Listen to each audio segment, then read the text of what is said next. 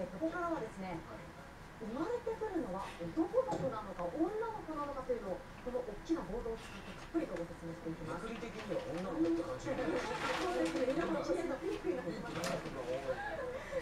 ジュリーさんの様子わかるんでしょうか。えー、英国王室のカトリーヌさんに電話で聞いてみました。カトリー。どなの？知らない。知らない。